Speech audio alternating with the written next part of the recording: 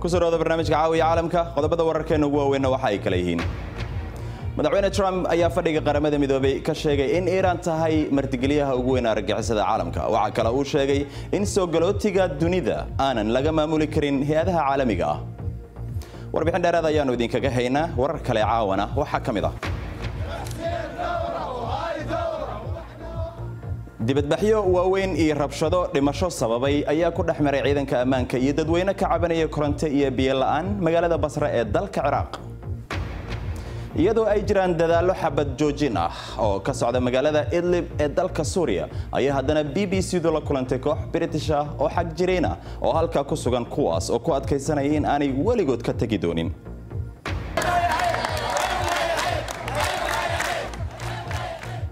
siddeetan jir konton sano taageero u ahayd degmada waaberi.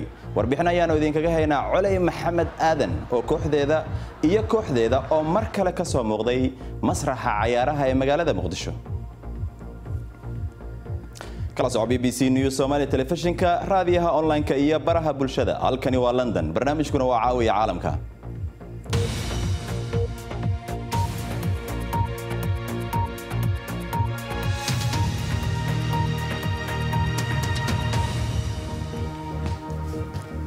habeen wanaagsan daadayaal waa anigoo ah maxamed cabdi xaraar oo idinla socodsiinaya barnaamijka caawa. Aan ku bilaabe madaxweynaha maraykanka donald trump ayaa weeraray hogaanka dalka iiraan isagoo ku eedeeyey inay mashaqo iyo dhibaato ka abuureen bariga dhexe. Waxaanu yidhi madaxweynuhu.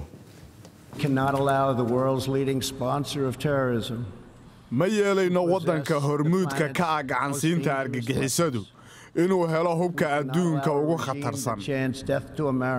ma yeeli karno in xukuumad halkudhiggeedu yahay maraykanku ha dhinto ama ku hanjabta inay tirtirto israa'iil inay gacanta ku dhigto gantaallo nukliyer oo gaadhi kara magaalo kasta oo caalamka ku taalla. Waxaannu ka codsanaynaa waddamada kale inay takooraan daandaansiga eeraan waxaannu dalalka kale ka codsanaynaa inay taageeraan halganka dadka iiraan si ay dib ugu hantiyaan diintooda iyo xornimadooda xaqa ah.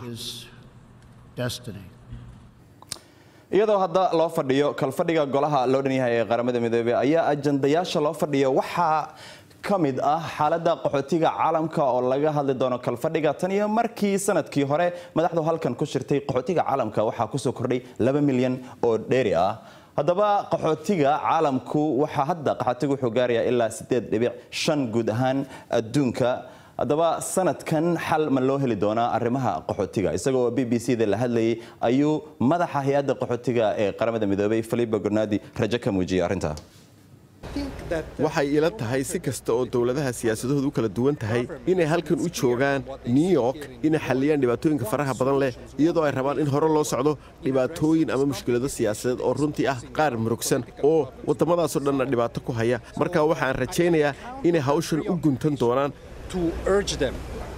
waxaan rajaynaynaa inay noqoto in la saaro culayska iyo ahmiyadda markaa ma doonayo in halkan noqoto uun bandhig ay isugu yimaadeen madaxda sarsare ee adduunka ee awoodda leh waxaan rajaynayaa inay noqoto meel si deggan oo leh kaysi iyo go'aan loo qaato arrimahan ka taagan caalamka oo wax looga qabto warbaahinta dowladda ayaa sheegtay in baarlamaanka ciraaq uu labada bisha oktoobar u qabtay maalinta doorashada madaxweynaha cusub.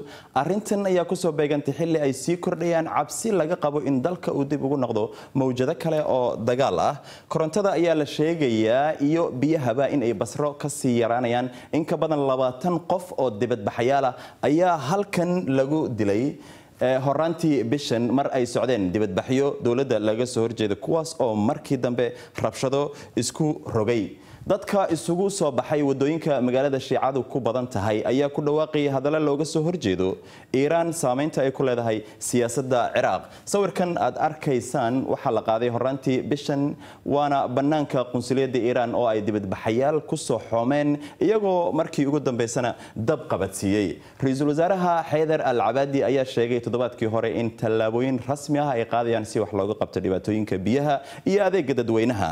B b c da ayaa walba booqatay magaalada basra si ay ugu kuurgasho in wax laga qabanayo baahida adeegyada asaasiga cismaan cabdi xasan ayaa eegaya.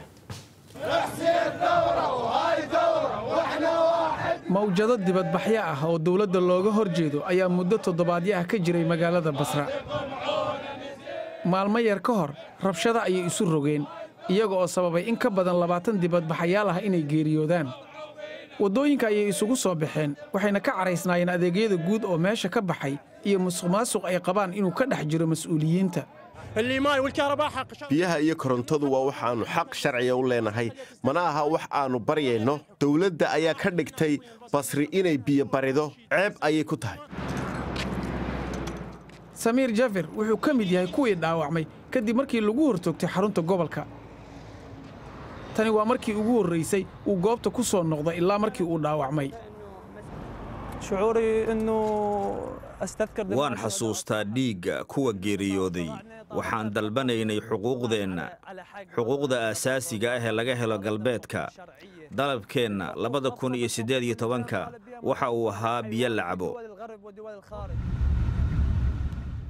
ceelasha shidaalka basre waxaa ka soo baxa inta ugu badan saliidda cayriin waxay ahayd inay ahaato meel barwaaqo ah balse halkii ay taas ka noqon lahayd kumannaan qoys ayaa sumoobay kadib biyo ay cabeen oo aan ku habboonayn isticmaalka. Inkastoo uu samiir dhaawacan yahay haddana waxa uu wadaa inuu ka qayb qaato dibadbaxyada habeenkii looga hor jeedo dawladda hal deg deg ah ma muuqdo dalabka dibadbaxayaasha ee ah biyo nadiif ah koronto iyo shaqooyin sidaa daraaddeed dibadbaxa basra waa ay sii soconayaan in muddo ah. Bal markaana haddii aanu egno qodobo kale uu ku jiro wararka caawa. Dowladda maraykanka ayaa agab ciidan oo qiimo ahaan gaaraya milyan oo dolar ka iibinaysa taiwan. Washington ayaa sheegtay in heshiisku uu gacan ka siin doono dowladda taiwan inay xoojiso awooddeeda difaaca hase yeeshee shiinaha ayaa sheegay arrintaas in uu ka gadooday cabdikariim sheekh muuse qalbidhagax oo ka mid ah saraakiisha ururka onf oo maanta soo gaaray magaalada hargeysa. Waxaa soo dhoweeyey mas'uuliyiin ka kala tirsan xukuumadda baarlamaanka iyo xisbiyada mucaaradka ee somalilan dhakhtar ka soo jeeda dalka suudaanta koofureed ayaa ku guulaystay abaalmarinta qaxootiga qaramada midoobay nansen atar adaha. Ayaa maamula isbitaalka maban waa xarunta keliya ee caafimaad ee ku taalla gobolka bunj heshiis lagu joojinayo dagaalka idlib ee suuriya waa mid hadda ku xiran jawaabta tobannaan kun oo ah kuwa mayalka adag.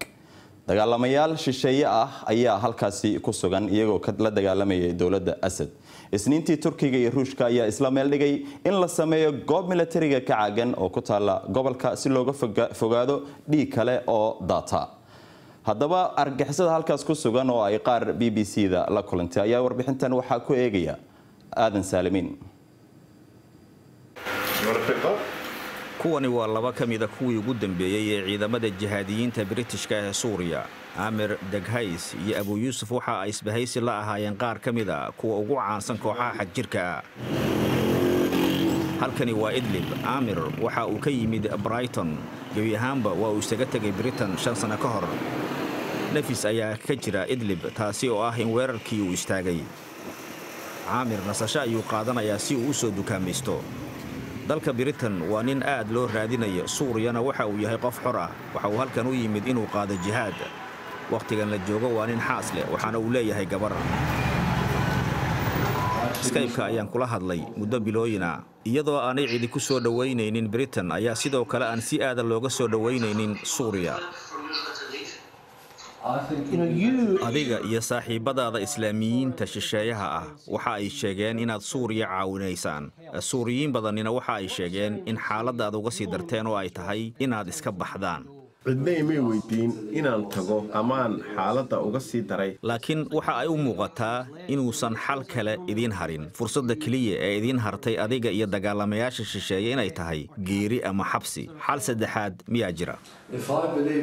Haddii aan aamino waxa aad sheegayso mar hore ayaan iska tegi lahaa. Suuriya mar walba isbeddel ayaa ka dhaca caqabad ayaa jira xaaladdu way adag tahay. Laakiin farqiga inoo dhexeeya waxa weeye iimaanka aan leeyahay caqiidada xagjirnimada waa waxa keliya ee awoodda siinaya raggan xitaa haddii ay ku guuldarraystaan dagaalka. Laakiin raggani ma joojinayaan taageerada ay u hayaan jabhadda nusra ee xiriirka la leh alqaacida. Abu yuusuf waxa uu sheegayaa inuusan weligii ka tegi doono suuriya laakiin uu doonayo in la qariyo wejigiisa. Sidaasi darteed adiga iyo dagaalamayaasha kale shisheeyaha waa inaad la heshiisaan dowladda oo aad hubkiinna iska dhigtaan oo aad dalkana ka tagtaan. Haddii aan hubkayga iska dhigo hadda ma og tahay ballanqaadka aan ka haysto rajiimka oo ah in aanay sii wadaynin kufsiga iyo dilka. Dabcan ballanqaad ma jiro ma jirto quwad weyn oo dunida ah oo doonaysa in ay timaaddo si ay u badbaadiso hal maalin. Waxa aad tidhi xitaa haddii aan ku dhinto halkan waan ku faraxsanahay. Taasi waa rabitaankaada inaad nafta u hurto laakiin ka warran dadka rayidka ah. Ka warran haddii aad iyaga nafta u hurto. Haddii aad ii ballanqaadi kartid inaan lay dilayn lay kufsanayn lay cuburinayn lay cadaadinayn markii aan tago kaalay halkan imaw oo ii ballanqaad halkan waxa ay miisaamaan nolosha qoysaska ciidamada dagaalamaya. Waxa ay guursadaan haween suuriyaana laakiin dhab ahaan ma dareensana inay ka soo jeedaan suuriya. Buuraha dibadda ka ah idlib waxaa jooga dagaalamo british ah abudajaan waxa uu ku jiraa roondo. Qaar ka mida dagaalamayaasha shisheeye waxa ay jareen xiriirkooda waxaana ay ka carareen suuriya dhowrkii toddobaad ee ugu dambeeyey kuwa kale si qarsoodi ah ayay u diyaarinayaan qoysaskooda isaguna waxa uu sheegay inuu joogayo taasi waxaa laga yaabaa inay tahay wakhtigii ugu dambeeyey ee nolosha caadiga ah ee jihaadi hubaysan oo britisha weligood si aada looma go'doomin tallaabada xigta ee xulafadooda xagjirka ah weligood ma noqon mid muhiim ah. Xaaladda saddexda milyan ee qof ee ku xayiran idlib ayaa laga yaabaa in ay ku xidhan tahay weli waxaa inoo soo socda o aad ku daawan doontaan qaybaha dambe ee barnaamijka dalka hindiya ayaa ka mid noqonaya suuqyada soolarka cadceedda ee dunida ku soo badanaya. Haddaba qorshayaal cusub oo dowladdu ma yihiin qorshayaashaasi kuwa hor istaagi karo horumarka tamarta.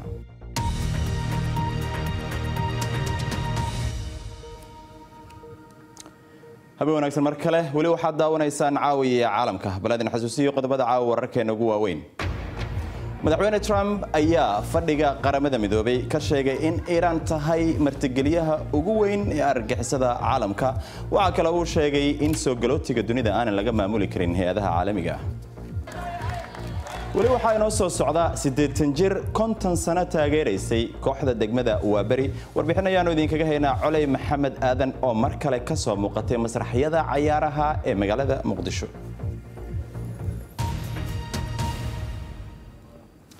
ra'iisul wasaaraha bidixda dhexe ee dalka sweden stephen loven ayaa ka degaya kursiga kadib markii uu heli waayay taageerada baarlamaanka.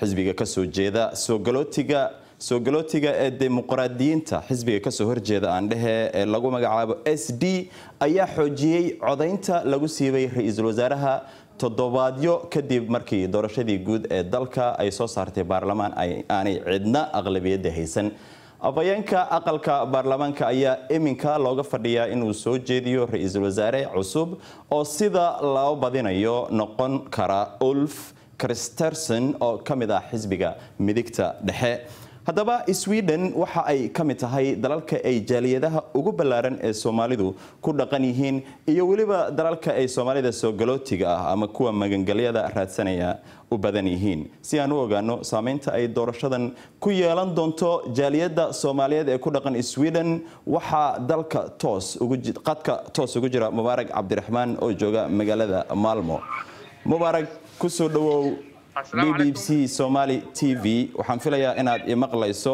haddii aan ku weydiiyo su'aasha ugu horeysa maxaa dhaliyey inuu ra'iisul wasaaraha xilka ka daadego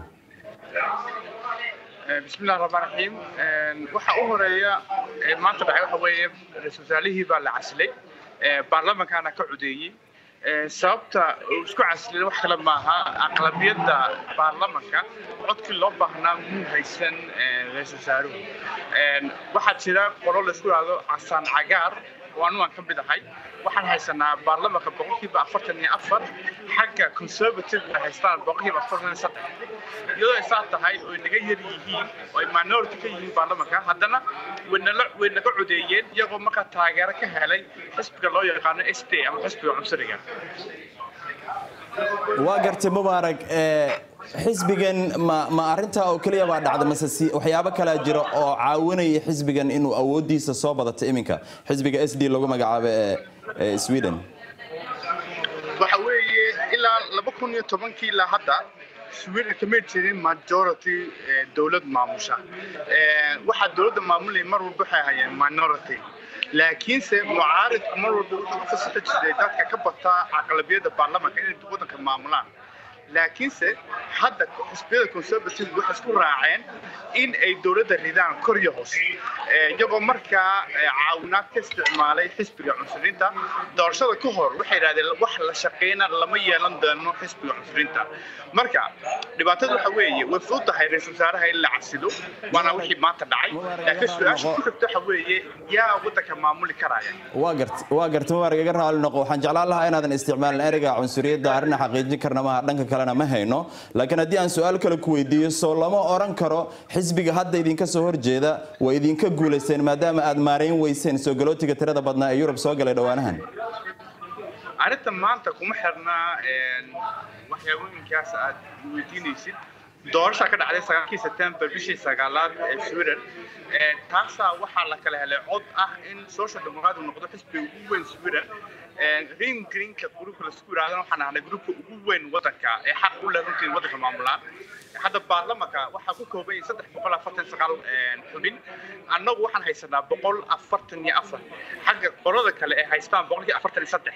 Xisbigan seyr dimuqraadigan waxay haystaan lixdan iyo laba. Marka maadaama saddexda gruub midna haysan majority ku filan oo waddanka lagu maamuli karaayo sida saxda ah xaqi waxa weeye gruubka ugu weynaadaa inay waddanka maamulaan. Annagu waxaan rabnaa runtii block politic waxa loo yaqaano inay baaba'aan xisbi kastaaba fursad u helo in xisbiyada kale la shaqayn karaayo. Problemka waxa weeye afarta xisbi ee alliance ku yidhaahdo waa aqlabiyad isku xiran oo rabin inay kala baxaan. aad iyo aad mubaarak mubaarak aad iyo aad ayaad u mahadsan tahay waana gartay. Marka laga soo tago eedeymaha ay isku jeedinayaan xisbiyada soomaalida maxay uga dhigan tahay arrintan in xisbiga midigta dhexe uu noqon karo? Ra'iisul wasaaraha cusub ee dalka sweden soomaalidu dee ummadda swediska ee waddanka ku nool bay la mid yihiin oo dee dhibaatooyinka ka jira un bay la qabaan dadka soomaalida xaan ku nool waxyaabooyinka xiiseynayaan waxa weeye in iskoolada loo hagaajiyo in mataqaanaa caafimaadka la hagaajiyo in welfare systemku sii jiro marka waxaa lama hagaajinayo maa leedaha hadduu xisbiga midigta dhexe qabsado. Lama hagaajinayo maa leedaha waxaa xisbiga midigta dhexe hadduu qabsado way adkaanaysaa because xisbiyada liberalka iyo xisbiyada conservative waxay jecel yihiin cashuurta in la yareeyo si mataqaanaa privatizationku u bato welfare systemkuna daciif buu noqonaya markaas annagu waxaan aaminsanahay in welfare systemka la ballaariyo cashuur ku filana la bixiyo marka dooda ugu weyn doorashada markaan gelaynay labada arrimood bay ahayd cashuurta ma la yareynaya mise waa la ballaarinayaa mubaarak cabdiraxmaan aad iyo aad ayaad u mahadsantahay hindiya waxa ay qalinka ku duugtay heshiiskii baariis ee ku saabsanaa isbeddelka cimilada. Taasi waxa ay ka dhigan tahay in boqolkiiba afartan tamarta ay isticmaalayso in ay ka samayso ama ay u samayso habab nadiifa oo aanay cimilada wax u dhimaynin marka la gaaro labada kun iyo soddonka indiya ayaa leh cimilo diiran dowladda ayaana saldhigyo samaynaysa ama u saldhigaysa qorshayaal ay ku abaabulayso tamar ka dhalinta qoraxda dalka indiya ayaana hadda ka mid ah dalalka leh suuqyada solarka aadka ugu sii badanaya dunida. Haddaba qorshayaasha cusub ee dowladda miyay ka hor istaagi doonaan horumarka dalka? Caaisha afrax ayaa inoo faahfaahinaysa. Koonfurta karnataka waxay muddo dheer ahayd dhul maran oo qallalan.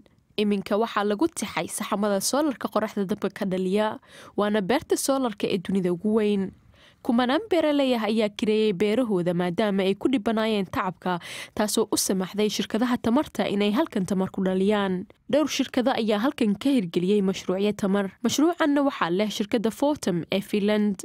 Hindiya oo keliya waxaa lagu dari doonaa xoogga tamarta ee laga dhaliyo qoraxda shan iyo toban gigawatt taasi oo u dhiganta boqolkiiba shan iyo labaatan ta caalamka oo dhan maaha beero waaweyn oo soolar keliya waxaa soo kordhaya soolaryada lagu rakibayo saqafyada guryaha. Saxamadan soolarka waxaa halkan lagu dhejiyey sanad ka hor. Warshadan ayayna siiyaan tamar.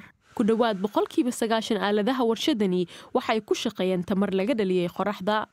Arrintan ayaa saddex meelood meel hoos u dhigtay qarashka ka bixi jiray shirkadan inkastoo tamarta soolarku uu jaban yahay mustaqbalka dheer haddana in la rakibo saldhig tamarta laga dhaliyo marka hore wuxuu ku kici karaa qiimo badan. Shirkadaha ayaana codsanaya in lagu taageero isbeddelkan.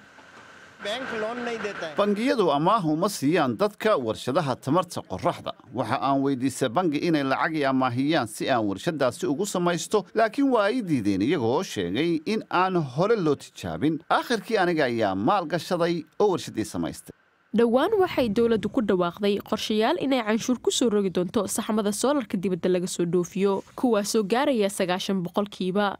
Iyadoo dadka gudaha ku farsameeya saxmada ay ka faa'iidi karaan qiimaha ayaa ku kici doona inta badan ganacsatada ku xiran ganacsiga soo dejinta. Haddaba waxay arrimahani shaki gelin doonaan ganacsato doonaysa inay maalgelin ku sameeyaan suuqa soolarka iyagoo weliba u bareeraya halista kaga imaan karta xulka degmada waaberi ayaa markii labaad oo isku xigta qaaday koobka tartanka kubadda cagta ee degmooyinka gobolka banaadir. Waxa ay hal iyo eber kaga adkaadeen. Xulka degmada shibis madaxweyne farmaajo ayaa ka mid ahaa daawadayaasha ciyaarta. Balse waxaa indhaha oo dhan soo jiitay coley maxamed aadan oo ah siddeetan jir. Waxa ay ku dhowaad konton sano taageero u ahayd waa beri kadib markii ay dhammaatay ciyaarta waxay ka mid ahayd dadkii biladaha la siiyey waxayna u warantay b b c somaali t v.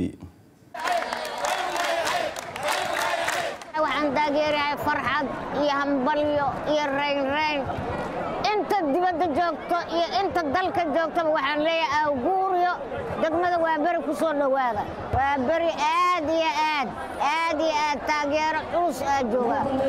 Duqa iyo doobka gabadha yar iyo wiilka yar ama habarta ama aabbaha ama shiiqa ama shariifka ama waayeelka kulligood waa wada taageero. Caawada wax seexda waa beri male hadda dheelaa lagu jira hadda taleefonaa lagii soo diray bannaankaan ku dheelihaynaa layidhi